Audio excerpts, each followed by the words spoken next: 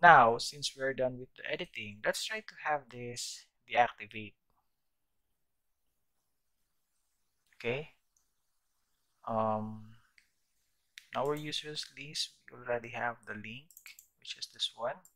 So let's go back here in our portal. So public function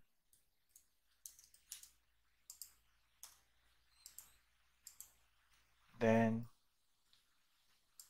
ID. Okay? So, ano yung gagawin lang natin dito? So, parang ganito lang. Let me try to copy this one.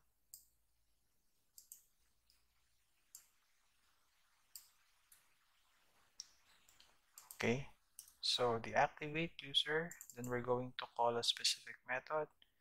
And kung success, then so the data was successfully or maybe the user was successfully deactivated. Okay, sorry, an, an error occurred. The user was not deactivated.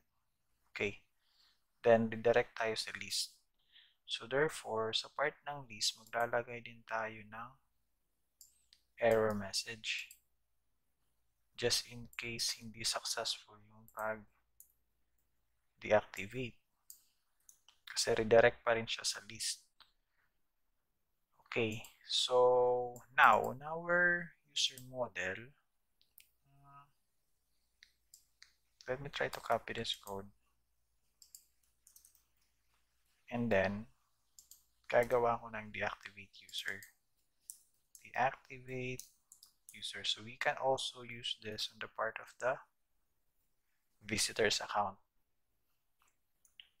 Deactivate user. Okay. So all we need to do is to pass the ID here.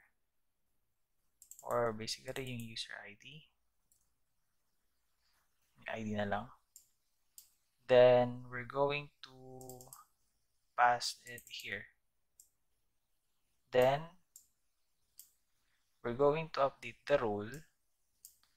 Oh, I mean the not the role but status from being active into a deactivated. Tama? Deactivated users. Okay. ID.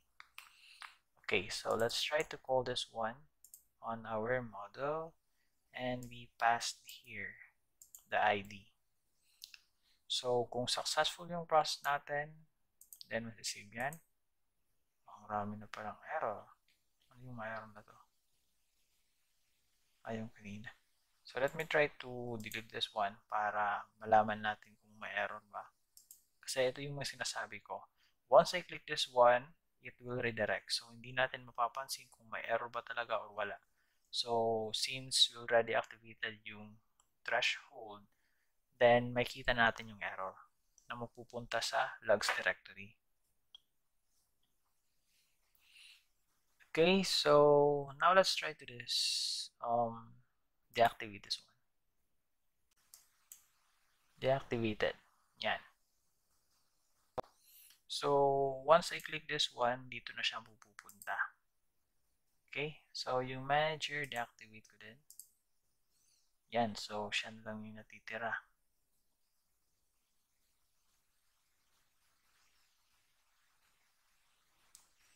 Okay? So, ngayon, yung gagawin natin, let's try to make another, I mean, another list. There, we already have the list here. Saan na yun? Yung list of users. Okay, so yung tinatawag natin dito was the yung mga active. So, tawag din tayo ng deactivated. Activated. So, hindi pa natin ito ginawa. So, gawin muna natin to. Our model. So, let's try to copy some code here. Yan. So, let me try to copy the name. Okay, and change natin to this status to deactivated. Okay, so once we done that, we can now check out yung view file and Celis, maybe I will just copy this code muna. Um, hindi lahat. I think in this part. And then, replace ko to. Ano, dito lang muna sa taas. Yan. So, next is wala tayong edit dito.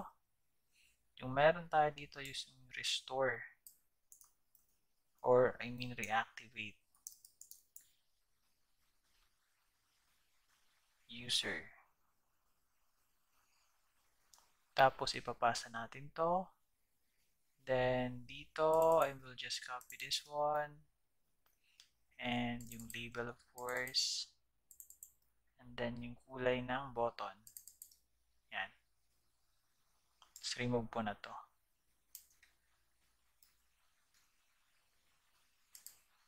Yan. So this is coming from the um, database na.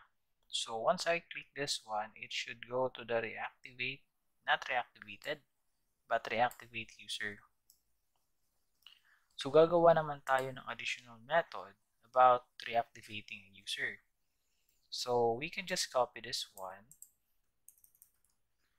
and um, go back to the list, the activated list, and copy this one.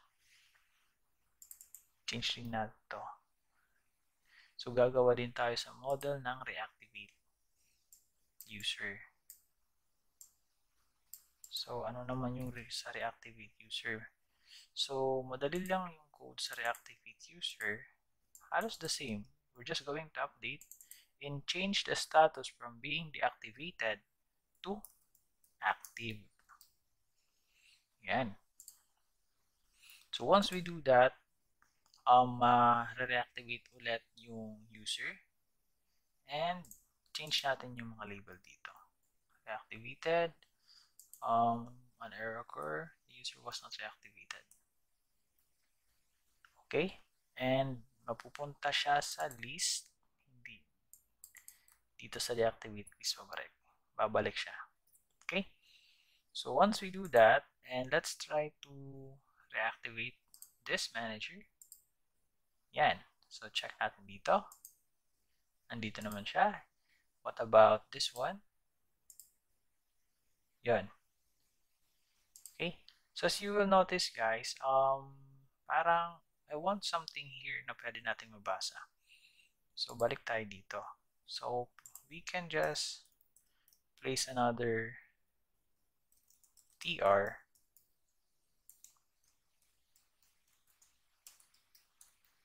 table row and then one TD. Then let's try to count how many columns they have. So one, two, three, four, and we can do the call span of four and put a class of text center and then type here no record found and refresh. Yan. Same thing with the list table dito. Para if ever walan, wala ng user, lahat na deactivate, then meron parang message na makikita. Okay? So, ano ba yung error dito sa pag-deactivate? So, yung tanong ngayon, ano yung current user na nakalagin. So let's try to check our database. Ano ba yung name natin na ginamit for our admin? Ah, yung Munday pala. Ginawa nating manager. So yung Munday, this is supposed to be an admin. Okay? Then what happened? Hindi natin to pwedeng ma-deactivate bakit kamo? this is the currently login user. So we need to remove this one. So hanapin natin yung list. So dito, let's say we are going to have an if statement comparing yung ID. If the ID is equals to the session ID or user ID, then dapat hindi natin siya pwedeng magamit.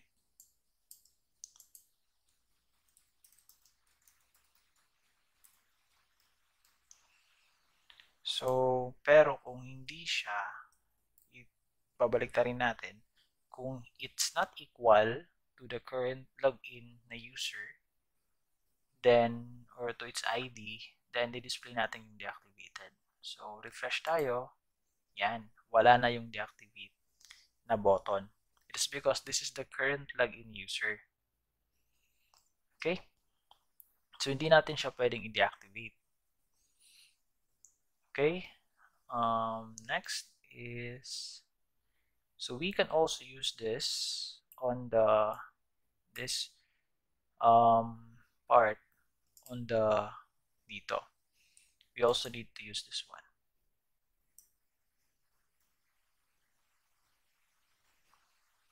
That we cannot able to um, delete, reactivate a kasi button lang yung this is link, accessible through link. If ever yung ID is equals to user ID, I would like to redirect it back to the list. Yun lang. Para hindi siya makaprocess ng pag-reactivate, ng pag-deactivate sa user. Especially kung currently login siya. Okay? So that's how we can manage yung mga data dito. Ano pa ba? So meron pa tayong papansin ng mga error. If we're going to, let's say, to change this one, what do you think will happen? An error defined. Kasi yung data na 13 actually doesn't exist. So it might cause some error. So we need to check this one if it truly exists. If not, ibabalik natin sa list.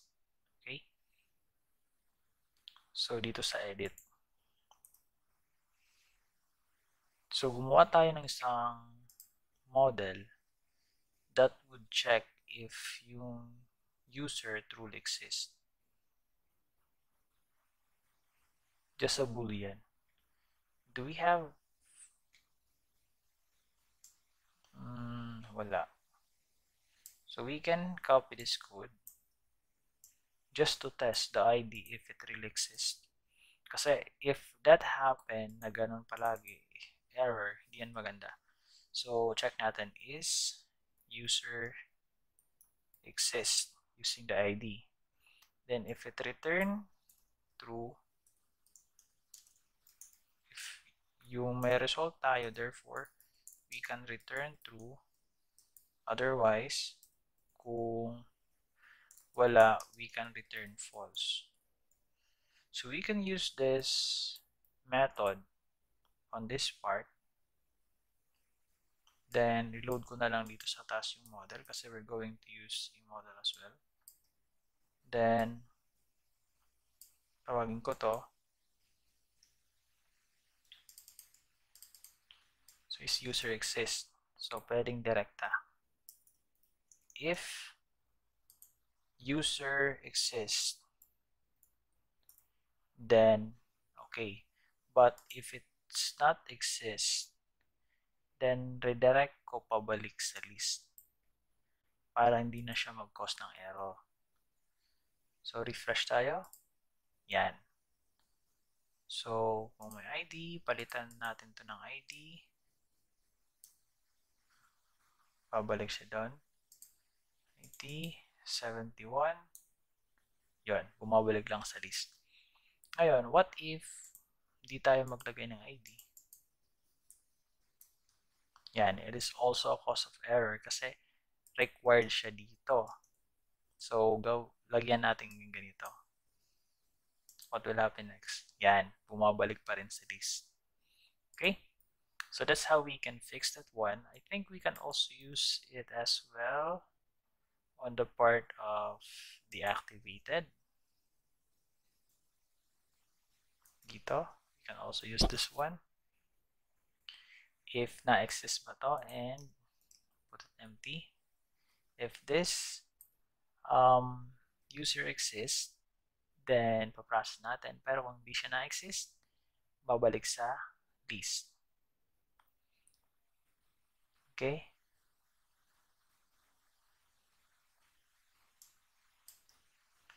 Saan pa ba? Sa reactivate. Same thing. So, if the ID exists, then ibabalik ko sa deactivated list naman. Okay, so that's one of the feature na pwede nating magamit on part of ah, meron pa yung meron pa ba? Ah, wala na. Okay, so para hindi tayo magkaroon ng error. Okay, so it's important especially sa mga parameter na ganito to check if na-exist ba talaga yung data na nilalagay sa URL. Kasi if it doesn't exist, then for sure it will cause some error. Okay? So that's how we can manage on the part of our users.